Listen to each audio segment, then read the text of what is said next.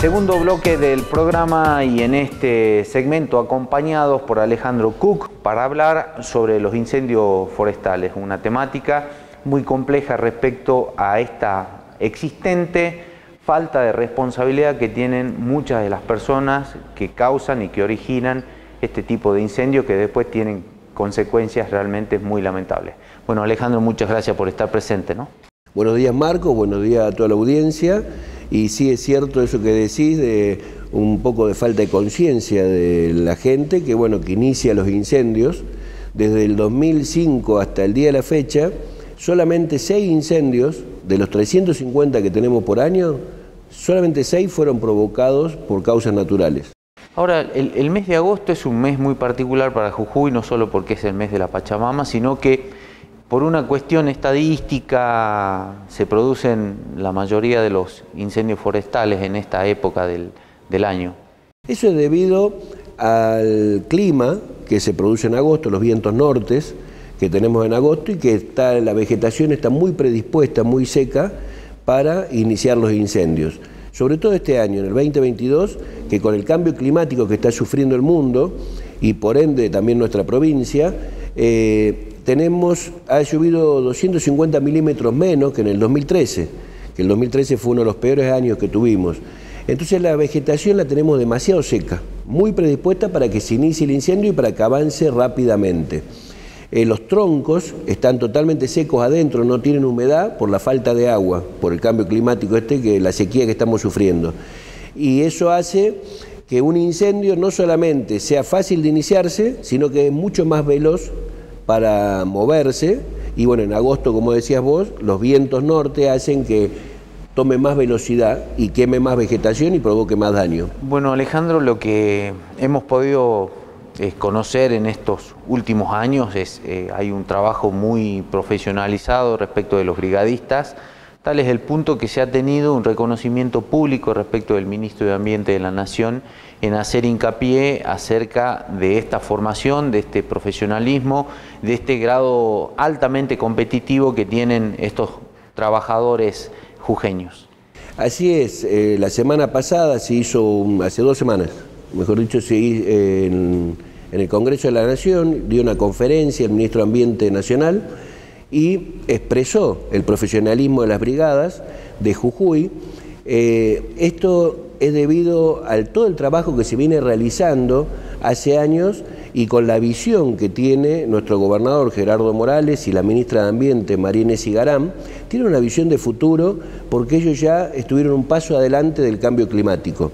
Entonces ya fueron preparando todo esto con el tema de la construcción de las nuevas bases, la base que vamos a tener en Humahuaca y la de Palmasola, más las tres bases que ya están funcionando en Yuto, San Pedro y El Brete, tenemos 62 brigadistas altamente profesionales, como decía el ministro de Ambiente, y 50 cursantes en el Instituto Universitario de Seguridad Pública que se van a, van a ser diplomados en incendios forestales eh, y con un título nacional. O sea, no solamente sirve para Jujuy, sino que sirve para todo el país, porque esa fue la visión, que todo el país sea profesional y que no tengan unos cursos para ser brigadistas sino que tengan un título universitario y sean altamente profesionales. Bueno, Alejandro, entonces este, hay una, fuerte inversión en lo que es materia de equipamientos, de instalaciones, de preparación, de capacitación. Este, ahora todo esto no alcanza, ¿no? Porque también se necesita la colaboración de la gente que está del otro lado, de tratar de no tirar una colilla de cigarrillo cuando, cuando está este, circulando por algún lugar donde, donde es una reserva de biosfera, por, darte un ejemplo, el tema de los asados que, se pueden hacer en cualquier lado y no se apagan bien esos fuegos. Este, yo creo que ahí es también parte estratégica para que se concreten estos objetivos. Nadie quiere tener un incendio por más preparado que tenga la gente. Entonces, este, hay que calar más hondo eh, eh, en ese semblante que tienen este, muchas de las personas que, a la hora de, hacer un, o de pasar un momento o de prender un fuego no, no lo hacen de una manera consciente de las consecuencias. Así es, Marcos.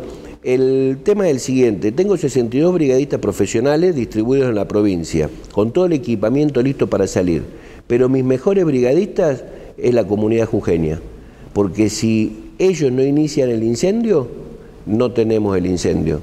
Y como bien decías vos, el incendio sabemos dónde empieza, pero nunca sabemos dónde termina. Y creemos que no, estoy lejos de mi casa, estoy lejos de casa de amigos y no, no hay problema que haga un fuego. En 30 minutos, 40 minutos, te avanza 50 kilómetros un incendio con los vientos norte.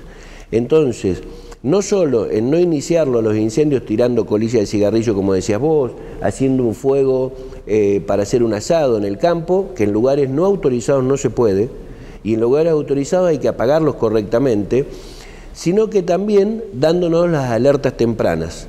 O sea, si no me entero del incendio no puedo ir a atacarlo. Y un incendio que no es atacado dentro de las dos primeras horas es un incendio que es muy difícil después de extinguirlo y provoca mucho daño. Entonces, si la comunidad no inicia el incendio y me dan la alerta temprana para que nosotros vayamos y solucionemos, vamos a trabajar en forma conjunta para cuidar este nuestro Jujuy verde que tanto queremos y que tanto disfrutamos. Ahora lo estamos viendo en vacaciones, estamos viendo esto de que eh, hay mucho turismo y la gente está disfrutando y eso es bueno para Jujuy porque el que haya turismo da fuentes de trabajo para mucha gente pero tenemos que tener un Jujuy verde para que esto siga sucediendo. Seguramente que sí. Muchísimas gracias Alejandro por tu tiempo, por tu predisposición eh, y ojalá cuantos menos trabajo tengan ustedes es porque más hondo ha calado este mensaje que queremos que seamos más conscientes en cuidar nuestro medio ambiente, en cuidar toda nuestra biodiversidad, nuestra flora, nuestra fauna, porque es uno solo y es donde habitamos y convivimos. Muchísimas gracias, Alejandro. Así es, gracias a usted. Disculpame, te quito un minuto más porque quiero repetir los números que doy siempre para dar las alertas. Si ven una columna de humo, si ven algo que creen que es un incendio, llamen al 911, al 100, al 103 o al 427-1971.